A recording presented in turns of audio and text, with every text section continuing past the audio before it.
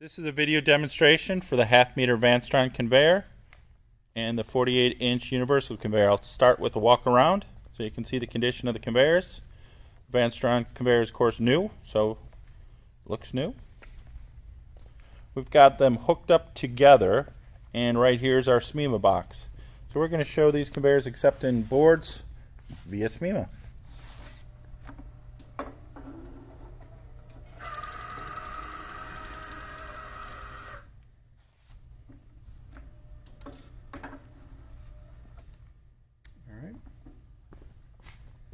This one has oven slow, so it's got a secondary speed control for the exit speed, so you'll see it comes off a little slower than it loads, just because of where I have it set.